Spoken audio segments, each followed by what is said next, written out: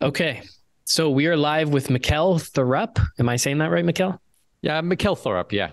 Okay, so Mikkel, um, we we were connected, and um, your whole thing it seems to be is consulting on uh, second citizenships, passports, investments around the world, and stuff. I'll let you get into that. Why don't we start with um, the Mikkel Thorup story, what you do now, and what you did before, how you uh, got into the place you are today. Yeah, absolutely. So I'm also from Southwestern Ontario. We were chatting before the interview. I grew up in London, Ontario, so just down the street from you guys. So what happened was when I was a child, I was diagnosed with a learning disability. And the teacher pulled me out of class and they sat me down in a little room and they said, Mikkel, something doesn't work quite right in your brain. And what we want to do is send you to a special school, uh, special school for special boys. And that's what they did. Every day for three years, I got on a little white bus, took a little white bus across town, and I went to this quote unquote special school.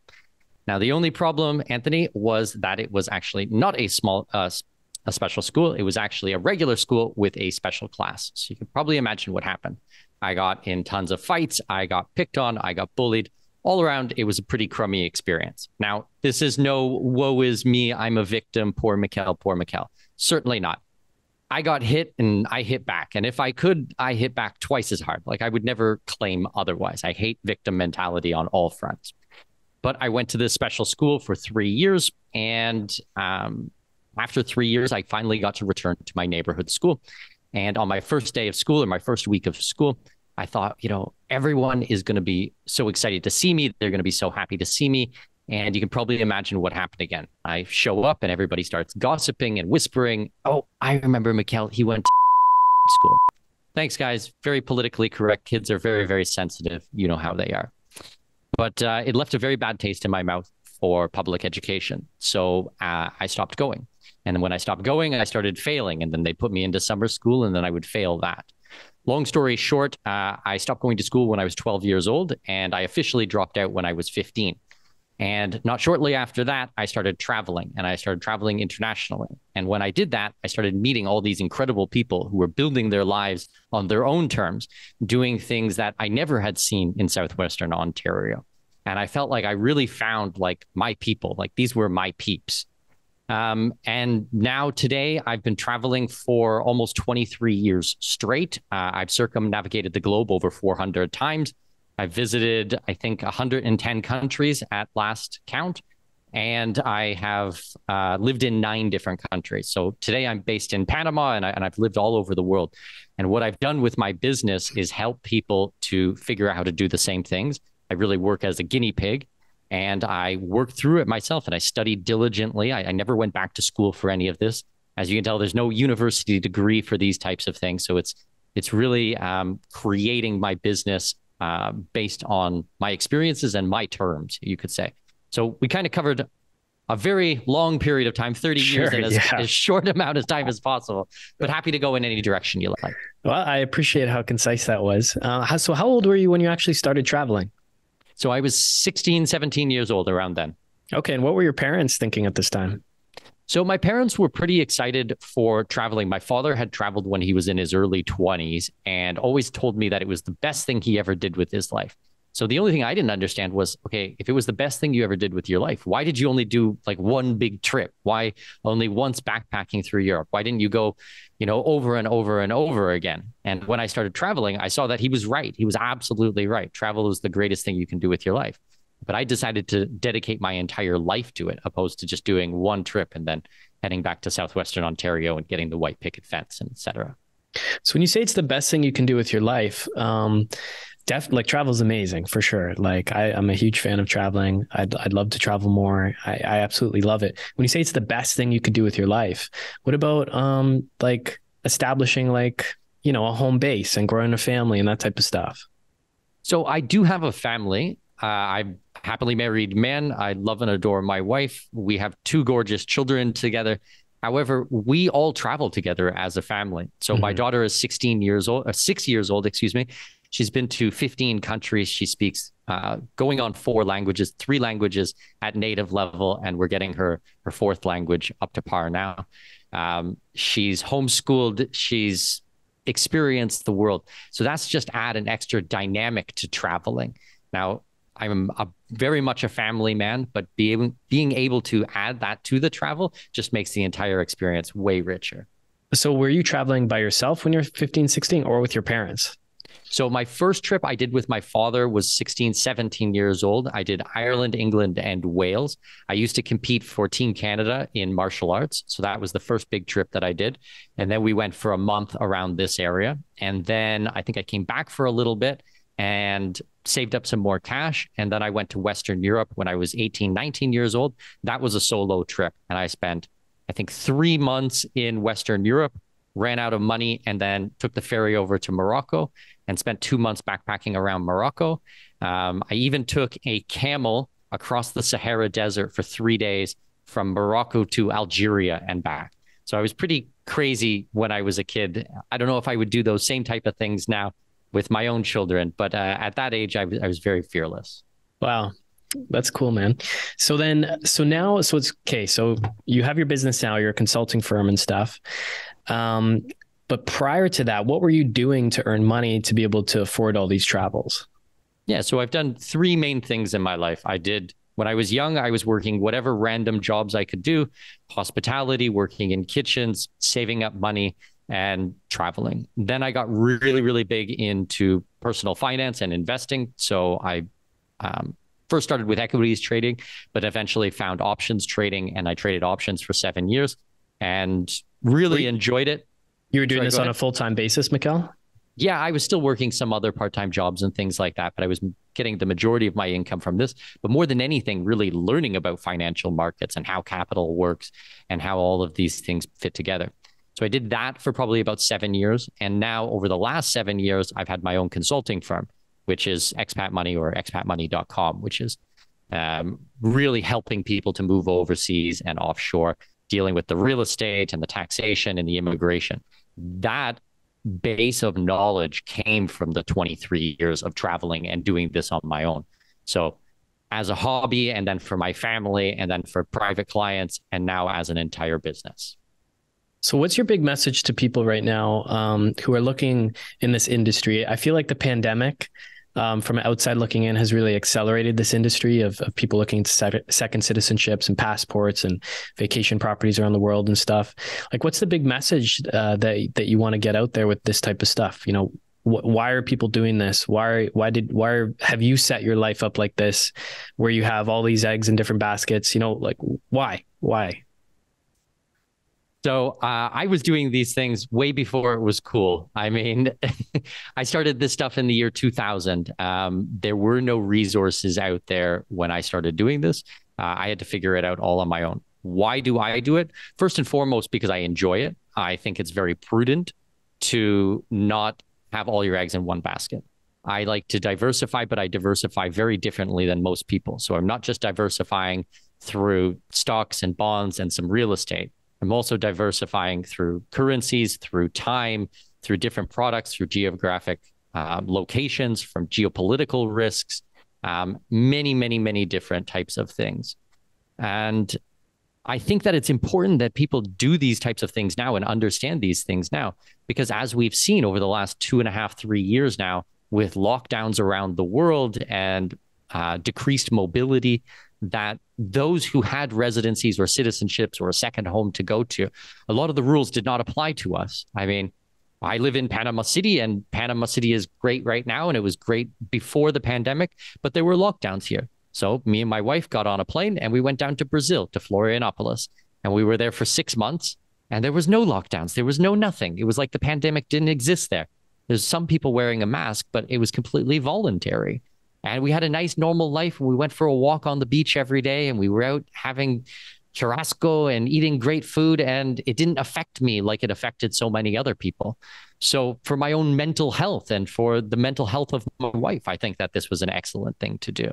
And I think that a lot of people are going to be looking at what has happened over the last three years and went, wow, having everything just in one spot is very risky and I need to diversify that risk. I need to spread that risk out. I don't assume that I know what's going to happen in the future or the best way about any of these things. I hedge my bet with everything. So I always am asking myself, what if I'm wrong? So I try to make the best decision I can, but what if I'm wrong? Then I try to look at, well, what's my second best option, my third best option? What's a completely contrarian view on these things? And I think I spend a lot of time thinking about this. I do it for my own life, I do it for my business, and I do it for my private clients. And the results that we get for people are terrific. I mean, the transformation in people's lives is fantastic. You can see the stress just drop out of their shoulders and then relax, and they just have a better quality of life, even if they don't leave their home country. Just being set up is often enough to make them feel a lot better. Does that make sense? Yeah, I guess uh, for someone that hasn't even left the home country and they feel that much stress lifted off their shoulders, these must be people seriously concerned with political risks or the local geographic risk or just fed up with lockdowns and that type of stuff. Is is that what you're seeing? Yeah, absolutely. All of those things. And then I would add to it that on the opposite side, so you you you know, we can definitely look at things from the negatives. We can also look at things from the positives. So this is a great opportunity to work online. People have already been going remote. This is a great opportunity to connect with your family, as I told you with my story with my wife and kids and traveling with them. It's a great opportunity to learn a new language and explore the world and see new places. You know, these are blessings. These are amazing things that you can do in your life. And as far as I know, or anyone can convince me on planet Earth, we have one life to live. So you might as well spend it doing something that you enjoy. As long as it is honest and ethical, then absolutely go out there and live your life. If you want to travel and explore, then do it and do it now, you know? So there are a lot of people who are coming to this realization, you know, when a lot of the freedoms were taken away, like I don't have time to waste. I can't sit around here and just wait till I'm 65 and then go cruising around the world. Like I want to go now. Like whatever that is for them, you know, we help them accomplish that goal. So, for the majority of Canadians, uh, where you know the majority of this show's listeners are Canadians, um, you know, how strong is the Canadian passport, and why would someone necessarily need to get a secondary or a third passport? What are the benefits of that? Sure. So a Canadian passport is an extremely strong passport. It's a yeah. really fantastic travel document. I have traveled to well over 100 countries on my Canadian passport.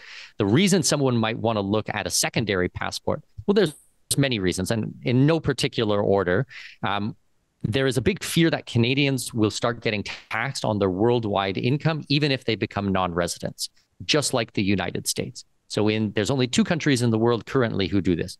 One is Eritrea in Africa, which is known for blatant human rights violations, and the other is the United States. So the US is taxing you based on your residency. So if you're a green card holder or you have substantial presence in the country or you're a citizen and you live there.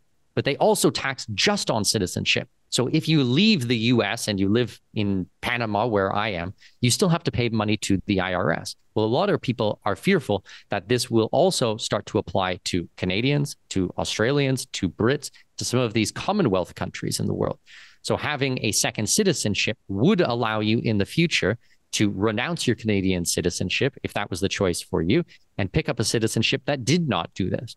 So, on a very regular basis, I have uh, client calls and we discuss renouncing their US citizenship. What would that look like? What is the difference between an expat and a covered expatriate?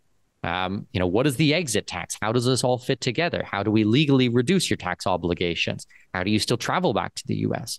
So we would have to think about all of these things with Canada as well. So that is one side of it. Another side is Canada has a fantastic passport, but there are still countries that you cannot enter visa free travel with a Canadian passport.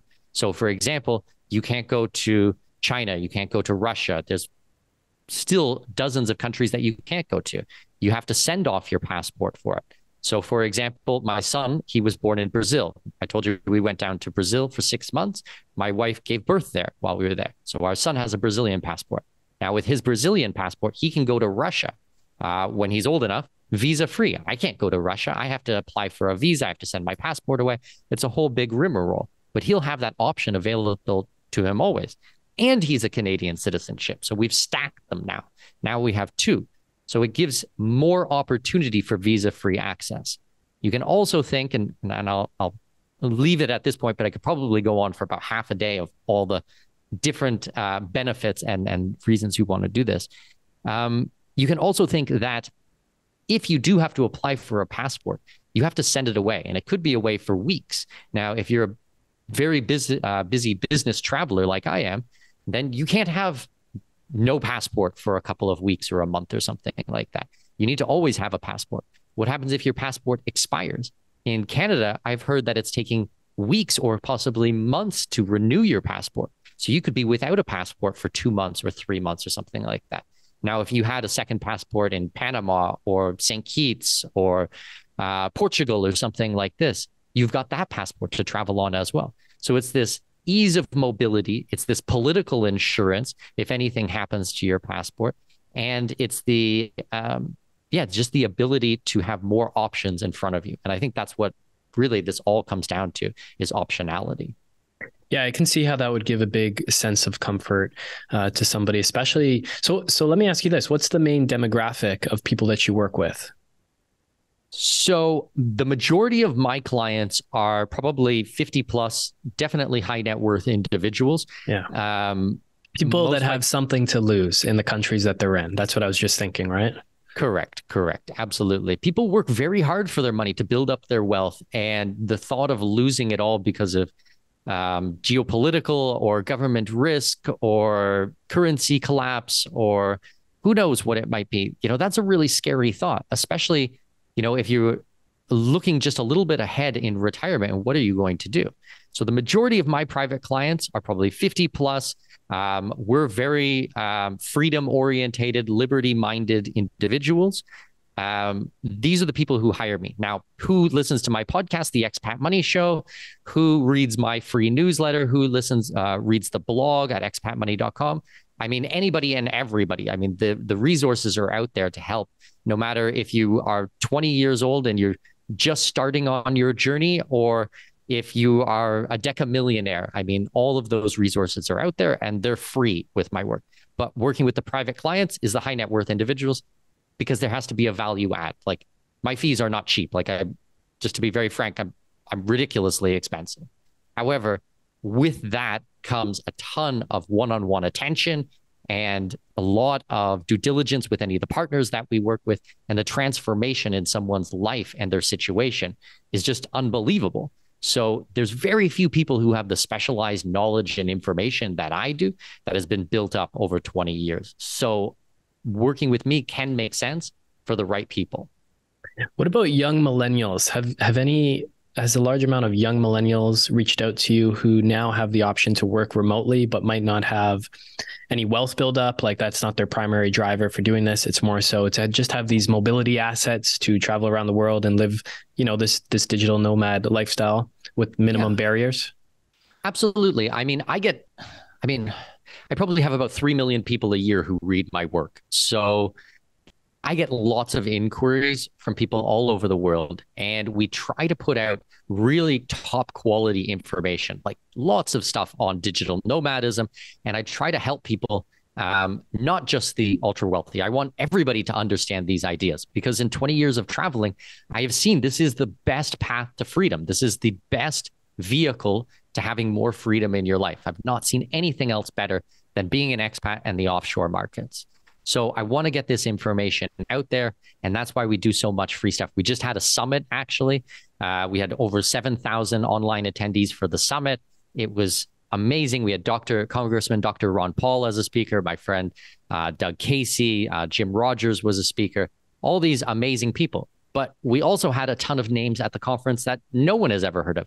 That's because they're the lawyers and the accountants and the real estate developers and all the professionals that I work with for my private clients. And it was free to attend. I didn't charge anything. You come watch any of the presentation you wanted, 100% free. If you wanted to upgrade and get a VIP ticket or something, there was all those options. But I always encourage people just check it out, just learn about it, you know, and then see if it's for you. Yeah, being to all these different countries, seeing all these different political regimes, um, risks around the world, different economies. What from your travels have you seen in terms of risks that Canadians might not be thinking about or aware who don't travel as much as you? Like what are what's the average Canadian missing from the bigger picture, right? Because you get a lot of perspective when you travel that much and see all these different systems. Well, it's interesting like I'm a Canadian citizen, but I've been gone for a very long time. Canadians are really brought up to think that Canada is the best country in the world and we do everything the best. We have the best health care and the best banking system.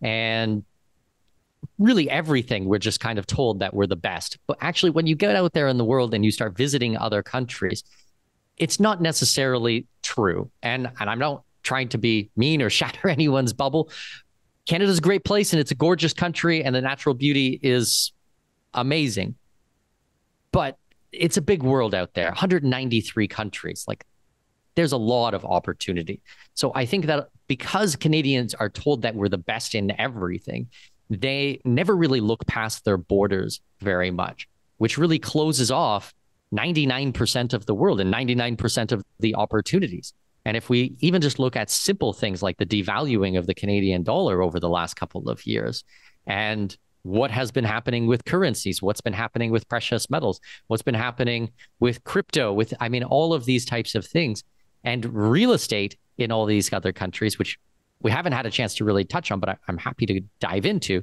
Yeah, um, is like it's just a really big world out there, Anthony. really big. So, you know, my message to Canadians is start exploring, start uh, doing your research. Don't think that uh, everything is best in your backyard because it's made in Canada. Are we being brainwashed, Mikkel? Definitely.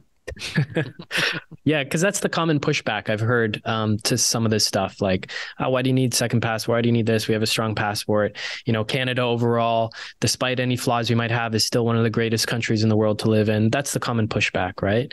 Um, but okay, so let's talk about real estate. Like, maybe it's different for Canadians specifically. Maybe you could speak to that if it is. Um, but for just people you work with in general, um, is who? Yeah, someone's waving in the background there. uh, just in general, where are the top places that you're recommending people to go? Now, I know it probably varies on taxes and all the jurisdictions and all this type of stuff, but for the average person, where are some of the top ranking places that you would put uh, at the top of the list? Okay. Well, we can come at this from a couple of different um, ways. Let me just quickly chime in on real estate itself and one of the things, some of the things that we're looking at, and then I'll talk about some of the jurisdictions and why we look at them in general. Is that okay? Yep. Okay. The way that I work in real estate is I'm not just looking at the real estate itself. The majority of the times, I'm using real estate as a vehicle to get someone a second residency or a passport. So this means the legal right to live and work in that country, to own the real estate, to open a business, to do banking in that, to go there and not leave. You know, you can enter the country and you don't have a 30 day or a 60 day or a 90 day tourist visa. You can build your life there. Now you can do it full time or you can just have it as a backup plan. So there's many countries in the world which will allow you in if you do a substantial investment into the country.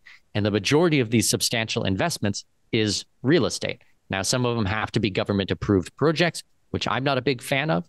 However, other ones will allow you to come in and you can buy real estate anywhere. So you can buy on the secondary market, you can buy on spec, you can buy something and fix it up and flip it, or rent it out on Airbnb for short term rentals or long term rentals, or even live in it yourself. I mean, there's just so much options here. So, for example, we could look at a country like Turkey. Turkey has a citizenship by investment program. It is currently 400,000 US dollars. You buy the real estate, you go through uh, all your paperwork, your KYC, AML, know your customer, anti money laundering. So everything is legit. After seven, eight months, you actually get your citizenship and passport in hand. So a Turkish citizenship, although as not as strong as a Canadian passport, it's still visa free travel to 111 countries, which is quite good. Now, the countries that you get access to with a Turkish citizenship are very different than the ones that you get with a Canadian passport. So they start to overlap, just like we talked about before. Now you only have to hold the real estate for a couple of years. And as I said, you could rent it out, you can make money on it. You know, it's a cash flow producing asset. And when you go to Turkey, and I highly encourage you do, you can go and stay there. I mean, we're going through this program right now. It's amazing. Istanbul is one of the best cities on planet Earth. I mean, Turkish airline flies to more cities or more countries than anywhere else. It's a huge place. There's so much culture and heritage and food and it's just a really interesting place to spend time and I'm a massive fan of it over there. So there's lots of opportunities like this that if you are looking at a global perspective for your real estate investment, you can basically get a residency or a passport for free. So why wouldn't you do these types of things?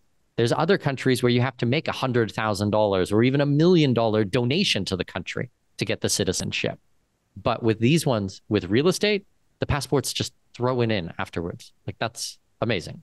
Yeah, so you get to buy the real estate, which has the benefits of owning that real estate, and you get the the pass into the country. Correct, correct. So is that what you recommend most people do? It seems kind of obvious. Like, why would you just throw away your money with a donation when you could own a hard asset, and especially something that produces cash flow? So that's a good question. So let's compare that against something like the citizenship by investment in the Caribbean. So there's five countries in the Caribbean that do CBI. You have Dominica, um, Grenada, Antigua and Barbuda, St. Lucia, St. Kitts and Nevis. These are the five countries. Now, some of them have a real estate option, but the real estate has to be a government approved project. So it's going to be a hotel chain, and you're basically buying like a one bedroom uh, hotel room, and maybe you get to spend a couple days a year there, and you need to hold it, and the returns are going to be absolutely paltry. Or it can be a project, and you get a bachelor apartment, and you can rent it out. But when you go to sell it on the secondary market, that delta between what you can what you bought it for and what you can sell it for is basically the donation amount, anyways. And you can't sell it to another CBI owner. So the secondary market is like horrible, you know? Mm. So in these countries, you might want to just look at the donation. Say it's 100,000 US or 150,000 US. You get your passport three months, it's in your hand and you're done and you don't have to think about it again. And these countries, they kind of fall between the 150 to 155 countries of visa free travel. So this could theoretically replace your Canadian passport as a primary citizenship. You know, Canada has I I don't know off the t- exact off the my top of my head, but it'd probably be about 176, 178, something like that, visa free travel. Same with the U.S. Their their U.S. I think is 10th best passport in the world. I think Canada comes in at sixth or seventh, uh, somewhere around there. So if you needed to renounce your citizenship, this would be a viable Plan A passport. Where a Turkish you know, is a great plan B or C or D, but I probably wouldn't want it as my primary. Um, now, there's other countries in the world where you can purchase real estate. You can, they don't have a citizenship by investment, but you purchase the real estate, you get residency, and then you live in the country for a couple of years. And after, say, three or four, three or five or seven years, then you can go through a process called naturalization, where you can apply for a citizenship afterwards. And those can be also really fantastic uh, travel documents, but you've got this time lag on it. So instead of, say, three months in the Caribbean or seven or eight months in Turkey, it's five years or seven years or something like that. So does that all make sense? Yeah. A question for you personally How many passports do you have, Mikhail? I don't disclose that on things like this. Uh, okay. Uh, I have a no few, problem. though. Yeah. Okay. I was going to ask too um, the benefits of citizenship versus just having a passport. Okay, so good question. So there's there's four different levels here. I'll take it one step back just to be very clear. So we're going to have a tourist visa. This is you go down to Mexico and you um, you enter in. You want to go to Cancun for a week. You have a 90 day tourist visa. You don't have to apply for the visa. It's just a stamp in your passport. But at the end of it, you need to leave. Um, then from there, we can have a residency. So there's different types of residencies. There's a temporary residency. There's a student visa. There's um, a working holiday visa or a work permit. This is a certain type of residency. The step up from that is a permanent residency. So, as long as you meet the minimum requirement time in the country, you can have this residency for the rest of your life. So, for example, Panama has a visa here. It's called the uh, Friendly Nations visa. It will lead to a permanent residency, or we have the qualified investor visa, which goes straight to permanent residency. You only need to visit the country one day every two years to keep your visa active. That's amazing. So, this is a perfect plan B type of location. Then, on top of that, you have your citizenship. So, a citizenship is just like we have in Canada being born there, you know, whether that came through you purchased it through economic means, you did through the naturalization process, you married someone from that country and got awarded that, you had um, religious rights, anything like that. You become a citizen, that's it. Like that's the maximum. Um, and with that, you get the travel document, which is a passport. Passport is just like having a driver's license, except instead of being able to go on the roads, it allows you to travel to other countries. That itself doesn't change anything else. You know, the, the citizenship is the most important thing because there has been cases where people were awarded a passport but they were not given citizenship.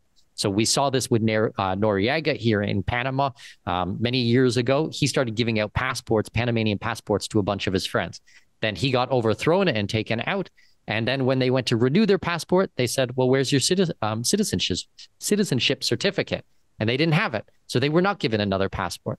So there should be never a case, uh, if done legally and if done correctly, that you would have a passport without a citizenship. Do you understand? Okay, got it. So to get the another passport, you need to have a citizenship, essentially. Correct. Yes, yes. Okay. Yes. So they're and like the big one difference is between a permanent residency. Well, not they're not one and the same because a citizenship is your your actual certificate. Like I can say, I am Panamanian or I am Brazilian or I am Canadian. Mm-hmm. With the passport, that's just um, that's just your driver's license. That's just your ability to visit another country. It's not. It's just a piece of pass, uh, piece of paper. Okay. It's nothing. You know, um, for the practical sense, it matters, but when you start looking at the legal laws, it's it's not the important piece. Now, the big difference between, say, a residency and a citizenship is although with a residency you can live and work in a country, you can't vote, you can't participate in the um, like the democratic process, you can't uh, participate in armed services, the military, if that was your thing. Um, there's certain restrictions for these, and you don't get the passport, the travel document. But with citizenship, you get everything. So it's just like you were born in that country. Okay. Now for Canadians, um, you know, as you know, snowbirds, right? We're very attracted to warmer climates and stuff. You know, my mind goes to myself, where would I want to have my plan B destination set up? And it's definitely somewhere warm. So sure. when it comes to uh, the Caribbean um, or South America, you know, places like Panama and stuff, where are the top destinations um, that could work for Canadians based on? There's so many different factors, I know, but just overall. Definitely, and this actually is is a good follow up question because it kind of touches on what we didn't talk about in the last question. So what is very popular is a lot of the countries in Central America right now because the cost of living is very low and the standard of living can be very, very high. What is also really nice about these countries is they follow what's called a territorial tax system. So that means if the money is not made inside the country, it's an online business, you're a coach or a consultant or an Amazon FBA, or you have a real estate portfolio, rental incomes, or you sell it in capital gains or anything like this, then you're not taxed on it inside the country. So, for example, you could live here in Panama full time. You could run an online business and you would not be taxed here in Panama as long as your clients are not Panamanian. And well, that's basically it. As long as it's not a business inside Panama, even though you reside here, the business is not here in Panama. So, or like a rental property portfolio in Canada. Correct, correct. So you would not be taxed on that in Panama. Now, if you opened a bar here or you were a barber and you cut hair or something like that in Panama, absolutely, there's tax here. It's not a tax free country. However, the tax system they follow will not tax you for our types of businesses or investments or anything like that. So you can think of uh, Panama, where I live, Costa Rica, Nicaragua, Belize, all of these countries follow this type of tax system. They're all very warm weather climate countries. They're huge tourist destinations. There's a lot to do. There's big expat communities. There's organic food, uh, fruits and vegetables. There's amazing seafood and fish.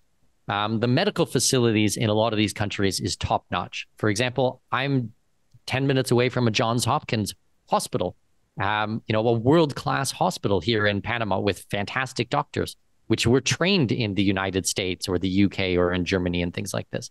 So, really great medical professionals, and a lot of them speak English as well. So you never have any worry about that. And then when you start getting rid of the taxation and the rent is a lot lower and all of these things, can really have a fantastic standard of living um, down in in the Caribbean or in Central America. So general affordability wise, it's it's a cheaper way to live down there. Yeah, I mean, you can have a, a, very cheap life or you can have a very expensive life. Like sure. I would not say that my life in Panama is cheap by any means. I've got um, my wife is a homemaker. We my mother lives with us full time to help care for our kids. I have two children. We have a full time nanny. We've got a maid. We've got a 4,700 square foot penthouse apartment.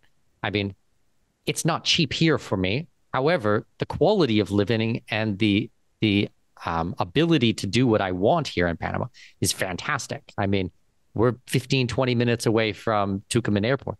We go away almost every single month on vacation or work travel or something like that. And it's like the flights and the time to get to any of the neighboring countries is really, really short. Like I can go to Colombia in 60 minutes. I we went to Aruba at the beginning of the year. It's like two and a half hours or something like that. So we can pop over to Aruba for a week. You know, you can't do that in Canada. Canada's pretty far away from most places in the world. Like, okay, people go down to Dominican Republic or Cuba or something like that, but that's kind of the extent. Panama's a lot more centrally located and can go a lot more places in a lot better time frame. So you can have a very cheap life here, you know, a thousand bucks or a couple thousand bucks. Um, you know, if you're solo or if you're retired or something like that. But if you want to spend, I don't know, several hundred thousand dollars a year and go out for nice dinners and live the big life, then it's also available here. So and and everything sure. in between. But apples to apples, I mean, like you know, your 4,700 square foot penthouse apartment in Toronto, or it would be a multi multi million dollar. Yes. I mean, it's a nice place here, but if so, your money goes a lot further down there. Definitely, definitely. Now, are these countries dollarized? What what are the main currencies in, in most of these Caribbean countries? So the majority of them will have their own currency. In Panama, it is a US dollar economy, which has been great for us as the US dollar has been surging and most other currencies have been dropping. And when you compare it to uh, Venezuela or Argentina or Colombia or the Real in Brazil, then I mean, we're we're very grateful to be a U.S. dollar economy. Do I love the U.S. dollar? No, I don't. Absolutely not. I don't like any fiat currencies. I'm very much precious metals, uh, Bitcoin, tangible assets, agricultural land, real estate, things I can touch and smell and see, and these types of things. I don't like the Federal Reserve or printing money out of nothing. Uh, I'm very much against this. But compared to some of the neighboring countries, I am grateful to be in US dollar. Yeah, we're on board with all that, man. Um, now let's talk about that, like your investing strategy. As um, I guess you would consider yourself an expat, digital nomad. You know, the high net worth clients you're working with. I know with your consulting firm, you also do, I think, some investment consulting in addition yeah, to definitely. the passports and site. Yeah, definitely. Right. That's like a main thing. Yeah. So, and just to be clear, uh, I'm not a licensed broker to be able to give financial advice. But what I am able to do is make introductions to licensed professionals who sign off on everything, and they, um, you know, these are relationships that I've built up over the years. Same thing as I am not a lawyer, I'm not a tax accountant, uh, anything like that. Uh, I work with people and I work side by side with all of the lawyers to make sure that we always stay compliant and legal every step of the way. Okay, sure. Um, but I'm just wondering. So you're hedging your geopolitical risk and stuff with the with the set with the citizenships and passports. Now, how are you hedging your financial risk? So good question. So what I do and what I do for a lot of my clients is we are looking at different types of currencies. So if I'm looking at different types of real estate, how is that real estate going to be paid out? Is it going to be paid out in US dollars, in euros, in Great British pounds? In something completely different, like a Turkish lira. You know, Turkish lira has been massively inflated over the, the last couple of years. You know, I don't want to get paid in Turkish lira. So although I have a Turkish lira bank account, I also have a US dollar bank account in Turkey. So when rental income comes in, I can take that in US dollars. And from there, I could put it in a brokerage account. I can buy more precious metals. I can buy more real estate with it, or just keep it in Turkey. And when we travel there, I can use it for my expenses to live. So the vacation is almost free, or our time in the country is almost free. Um, I'm looking at a lot of the Asian stocks right now. I just had Marc Faber on my podcast today as we're recording this. And we talked all about the Hong Kong stocks and what are happening over there and how it's such a depressed market. Um, you know, incredibly intelligent PhD in economics from Switzerland, who has been investing for the last 50 years, um, billionaire investor. So that was a great episode to get his perspective on what is happening in Asia and how we can buy Asian currencies and Asian investments and equities on the cheap over there. Um, you know, we're buying real estate in Brazil right now. I think that the the real is about as low as it could possibly go right now. So we're looking at the geo arbitrage by taking US dollars, moving it down to Brazil, which is one of the BRICS countries, which is a completely different market, which has really shown itself to be freedom orientated over the last few years. Buying quality real estate there and then sitting on it. You know, this will be a permanent fixture in my portfolio. Am I going to make a million dollars on it tomorrow? No, absolutely not. But if it rebounds and does what I expect it to do and more divisiveness in the world and more walls going up, then I'll be very happy to have a home in Brazil and generating income in the local currency there. I know that Brazil has just gone very left leaning with Lula being elected and a lot of uh, problems there with the election. But that still doesn't change the fact that I think that Brazil is a fantastic place to spend time and to start acquiring assets. How are you identifying these different real estate opportunities? I know you're a big traveler. Are you traveling to places to scope all this stuff out? Are you following, you're obviously following the political headlines and stuff, which I don't envy because you must be following all this just crap going on in all corners of the globe. Um, so, how are you identifying these opportunities? I travel literally every single month to go and look at different properties, different investments, uh, strengthening relationships with professionals I already have, with local lawyers, or if I don't have a relationship in a country that I think is up and coming, then I always spend my own money first to go and check it out and build those relationships before I ever talk about it on the podcast or the newsletter or the blog or any of these types of things. So I like to do it myself. I'm not an armchair traveler. I'm not an armchair investor by any means. Um, I I do my own research on these things. I, I have full time researchers who work for me I mean, my business is not just me. I've got uh, 17 staff right now, 17 full time staff. So I have full time researchers who do a lot of the grunt work for me, but um, the final decision is always mine. I'm always out there uh, checking it out myself. Yeah, and you're also plugged into this expat network with uh, fingers all over the globe, right? That can kind of give you a heads up on this type of stuff too, right? Yeah, definitely. I'm on a, a private investors group, for example. We meet every single Monday. Um, yeah. I brought up the topic of Armenia because I think that this is going to be a fantastic destination. They're going to be releasing a, well, hopefully they'll be releasing a citizenship by investment. We'll find out. I think it's January 19th, January 19th or January 29th. I can't remember off the top of my head on resolution. And if it is, then it's $150,000. You can get your citizenship there. And they're plugged in because they have access to SWIFT, but they also have access to the banking sectors for Russia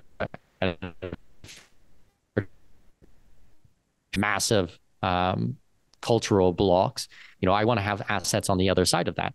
So I started talking to all of my my friends on this call, and a bunch of them have been there and spent time there and own real estate. And so, you know, being able to discuss this idea with other really smart peers, colleagues in this is fantastic. Now in 2023, I will be planning a trip out there. I want to go and see for myself.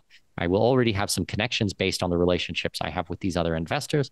They can make introductions. So I'm not going into these countries cold. You know, there's already uh, a certain amount of lag work because I have spent the last 23 years doing this and forming relationships. Okay. So I know we have to wrap up soon here. I wanted to ask you about investing in timber because I saw that on your website and that's a pretty unique thing I've never learned about. So, what's with investing in timber? Yeah, so I've been investing in timber for a number of years, um, looking at it in many, many different countries. Uh, I took a group of investors down to Uruguay uh, a couple of months ago now. Uh, took down 20 people, uh, all private clients of mine. This was not just the general public, these are all private clients. And we spent a week in Uruguay and we did conference material in the morning and field trips in the afternoon. And one of the big things that we were looking at is timber plantations there. So I really like timber for the legacy type of play. You own the land yourself, you put it in your portfolio, you know, in a trust or in a foundation or even a corporation, and it can pay out in your lifetime depending on how old you are, but it's also for your kids, for your great for your grandkids and for your great grandkids. So it's this generational wealth transfer. So specifically in Uruguay, what they're doing is they have two different types of timber, two main types of timber, I should say. So they have eucalyptus and they have pine. I think it's about 70, 75% eucalyptus and the remainder is pine.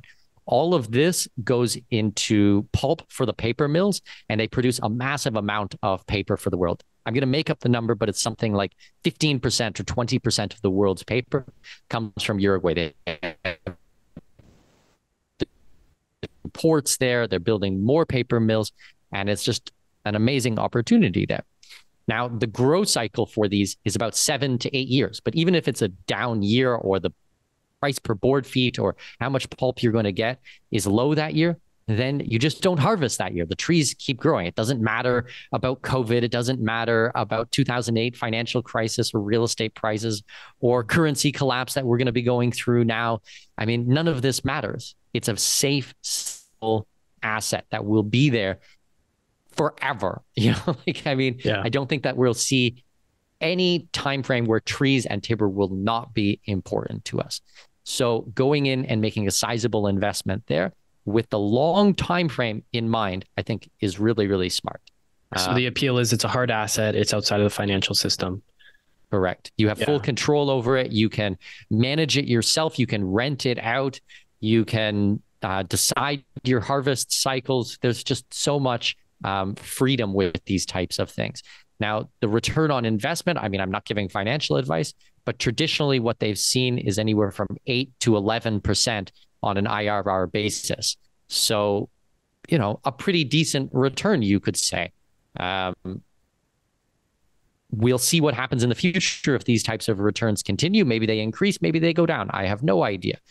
But for certain people, timber investments do make a lot of sense. Yeah, interesting. That's cool, man. So I know we have to wrap soon. Um, where can people learn more about yourself, about what you're doing, and about this whole industry, just this mindset of diversifying yourself around the world? Where can people go? Sure. So if you guys go to expatmoney.com, uh, that's our website, expatmoney.com, you'll find a ton of free resources there. We're putting out new blog articles almost every single day. We have monthly webinars, also free. We put out a weekly podcast that comes out every single Wednesday. So actually, even you know today, wherever you're listening to our conversation, Anthony, uh, you can go to um, to your podcasting app and type in uh, Expat Money Show. We've been doing our podcast for six years, seven years, something like that. So hundreds of episodes, a big backlog of content to go back through, um, really detailed master classes on all the things that we've talked about today and a thousand and one things that we didn't have a chance to to cover today. But I guess the main central place is to go to expatmoney.com and from there you'll find the rest of my work. And very happy to to help take care of your audience. Yeah, I really appreciate come you uh, coming on. I wanted to squeeze one more thing in here. Um, Tell me. The crime and safety aspect of it. Uh, how realistic is it? Is there resources like websites online where you can go to actually get an idea of the crime and security um, in in different countries and stuff? Just how do you feel about that? Is it overblown? So it depends on where you're going. There's going to be safe jurisdictions or safe areas or cities in any country that you go to, and there's going to be unsafe places. So, for example, the US, you know, has some of the most unsafe places in the world. I wouldn't want to be in certain neighborhoods at two o'clock in the morning. Um, and the exact same here in Panama or in Costa Rica. But it's about being smart, you know, let people know where you're going. Don't go out and get completely wasted and wander around the street don't flash a lot of gold jewelry and the brand new iPhone 14 or whatever model is out there right now. You know, just be smart about these things. But I would be smart about that in Toronto. I would be smart about that in New York. Like that's not a specifically Latin America or the rest of the world type of thing. Now, as for websites, yeah, there are websites that you can go and look at. Traditionally, people, when they're looking at statistics, will look at the murder rate per 100,000. So you can you can figure out, okay, this country has a murder rate of 21 per 100,000, or this one has 45 per 100,000, or something like that. I mean, it doesn't tell the whole story, like even close, because usually these types of statistics will happen from people that already know each other. It can be domestic dis- um, disturbances, or it can be related to drug trafficking or you know narcotrafficante type of things. That doesn't necessarily mean that that is what's going to be affecting expats. Usually, with expats, we are well protected. Like we're bringing tons of foreign direct investment into these countries. The police know this. The local people know. The local police know this. So it's, you know, the expats are protected. And if you do something bad against an expat, the repercussions are going to be 10 times worse than if you did to one of the other locals. I it's just a truth. I mean, like it or hate it, or you think that it's unfair or whatever, um, it doesn't stop it from being a truth. But I've been traveling for 23 years. I have never had a problem.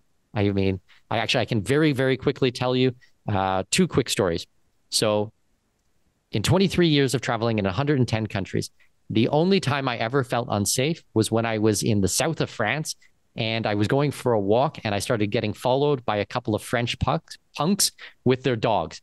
And I could see that they were following me and I hid out in a McDonald's and I sat in there for like an hour and they got bored and walked away. That was it. And the only time I was ever robbed was in Canada.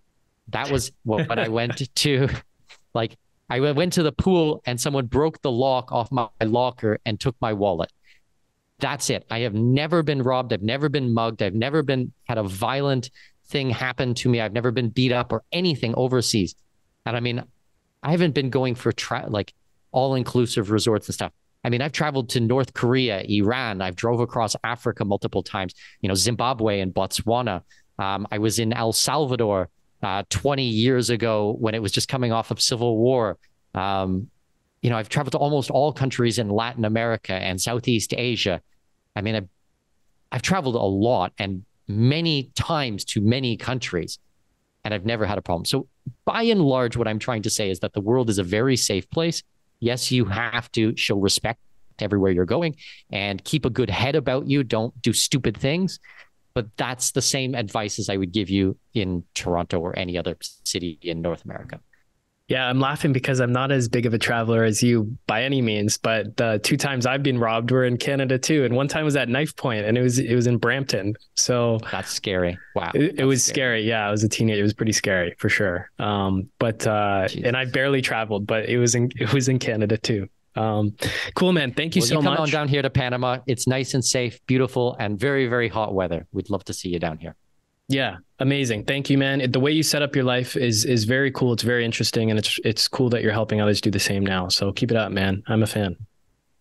Thank you so much. Very very kind, and thank you so much for having me on the program. I appreciate it. Hey, thanks for tuning in. You can find every new episode of the Your Life Your Term show on all the major streaming platforms, so Spotify, iTunes, Google Play. And if you'd like to get free copies of some of the books that we've put together, like these right here, or some of the reports that we've put together, like these right here, you can find all of those at www.rockstarinnercircle.com. That's www.rockstarinnercircle.com. That's it for now. Until next time, your life, your terms.